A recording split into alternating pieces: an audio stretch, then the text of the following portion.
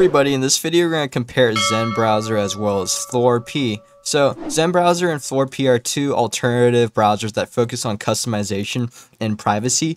Um, I would say Zen Browser is lightweight, minimal, and designed for speed with strong tab management and user control over the layouts. And, you know, it has it, like an appeal to people who want a distraction-free browsing experience found in mainstream browsers.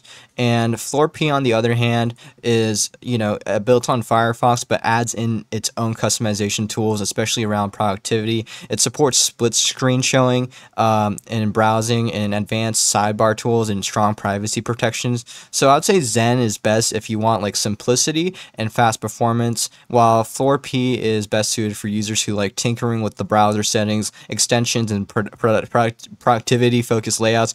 Both browsers are safe, but the uh, choice depends on whether you want minimalism or maximum customization. So yeah, thanks for watching this video. Like and subscribe for more content like this, and I'll see you later.